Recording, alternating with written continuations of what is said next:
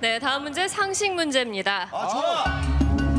머리살, 허리살, 할벌 입줄, 방구멍, 꽁숫 구멍. 지금 들으신 단어들은 이것의 각 부분 명칭입니다. 충무공 이순신 장군은 전투에서도 이것을 사용했다고 하는데요. 겨울철에 주로 볼 수 있는 이것은 무엇일까요? 두 글자예요? 몇 글자인가요? 한 글자입니다. 아 이거 너무 께서 큰 힌트를 주셨습니다. 한 글자예요. 자, 보겠습니다. 하나, 둘, 셋, 들어주세요.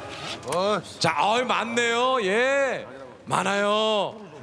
꽝부터 예, 꿀, 땀, 학, 새, 칼, 활, 불, 총, 숫, 연, 뱀, 곰포, 킥. 연.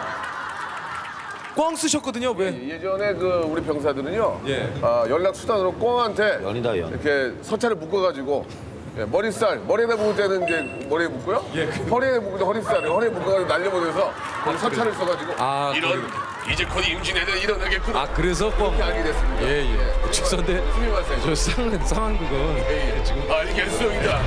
나라가 이 지경인데 문제나 풀고 앉아있다니. 이거 목소리 지금 남쪽으로 지금 외국을 쳐들어오고 있습니다. 알겠습니다. 예, 저 우리 연 쓰셨거든요, 태민 씨.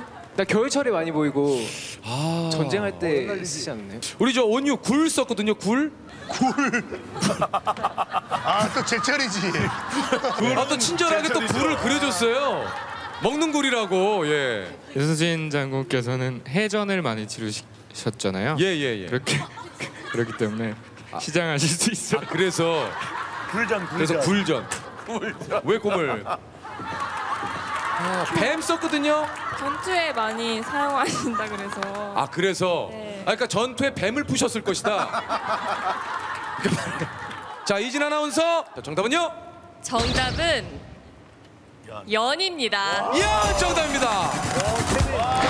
야 태민 씨, 비오네이퍼 예, 두 분이 연을 맞췄습니다.